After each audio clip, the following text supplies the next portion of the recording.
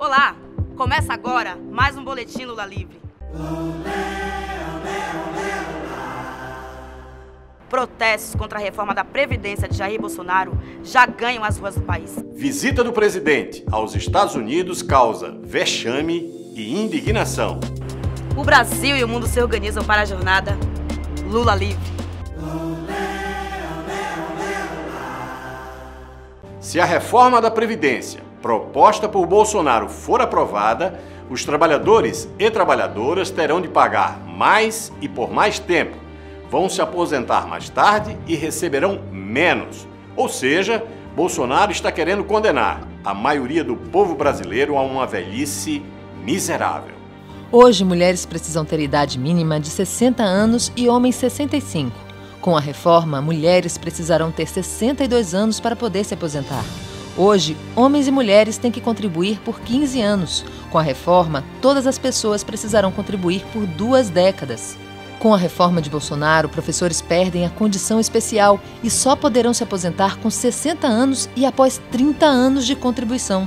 Hoje, pessoas muito pobres ou com deficiência têm direito a partir de 65 anos a quase mil reais como aposentadoria. Com a reforma de Bolsonaro, esse direito será reduzido a 400 reais. Além disso, Bolsonaro quer tirar a Previdência da Constituição e adotar o regime de capitalização que não deu certo em nenhum lugar do mundo. Por causa desses absurdos, trabalhadores e trabalhadoras de várias partes do país foram às ruas contra a reforma de Bolsonaro. Por isso, agora mais do que nunca, é Lula livre e não a reforma da Previdência. A indignação e a vergonha só aumentam. Nos Estados Unidos, Bolsonaro entrega Alcântara e ofende os imigrantes brasileiros.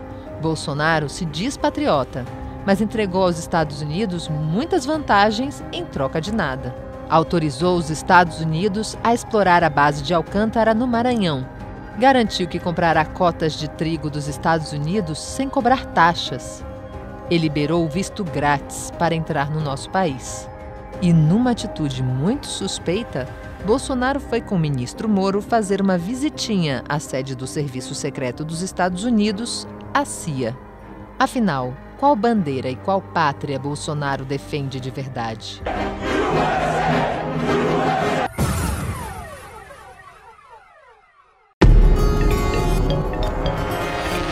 Juízes defendem a Constituição e denunciam prisão política de Lula.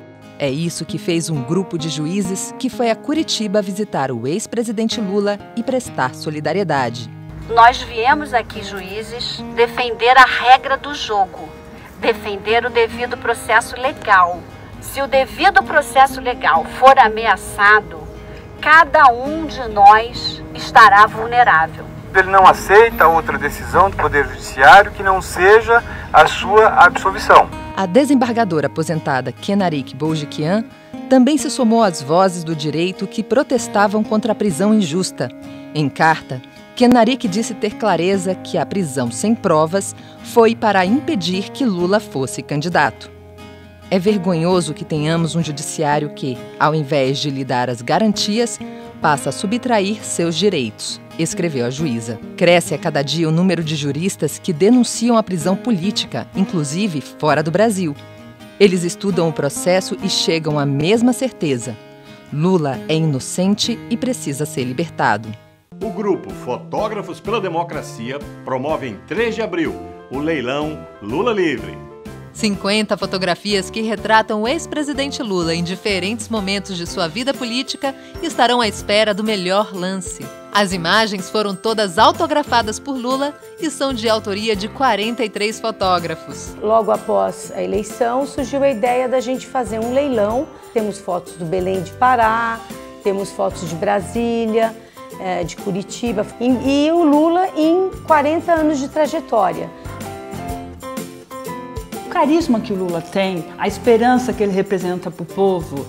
E é impossível que o fotógrafo não se emocione e que isso fica registrado nas nossas lentes. Um homem que deu tanta esperança, que, que fez tanta coisa, está preso, ser um preso político. Anote aí e vá buscar a sua. Dia 3 de abril no Bar Sabiá, Rua Purpurina 370, na Vila Madalena, em São Paulo.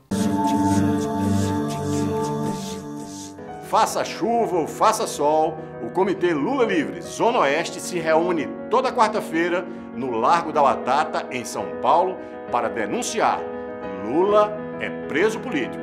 A gente tem que mostrar uma resistência e o maior símbolo de resistência é aquela vigília Lula Livre de Curitiba.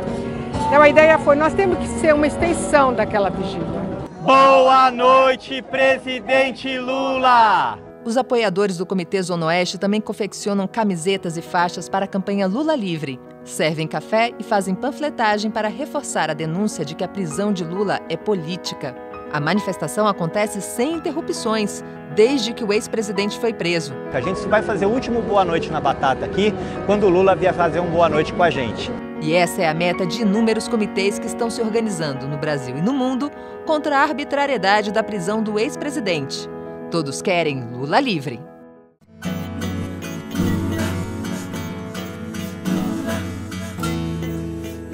A Jornada Mundial Lula Livre já tem atos confirmados no dia 7 em diversas cidades da Europa. Em Madrid, na Espanha, em Londres, no Reino Unido, em Paris, capital francesa, em Lisboa e Coimbra, em Portugal, em Genebra, na Suíça, em Berlim e mais quatro cidades alemães: Munique, Bonn, Frankfurt e Colônia.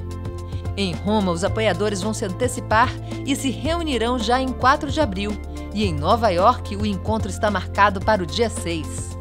Parte dos comitês se organiza também pelas redes sociais. Já foram criados 40 eventos em diferentes cidades. Defender Lula é defender a democracia, é defender os nossos direitos. Participe você também. Procure o Comitê Lula Livre na sua cidade. Vem com a gente. Lula.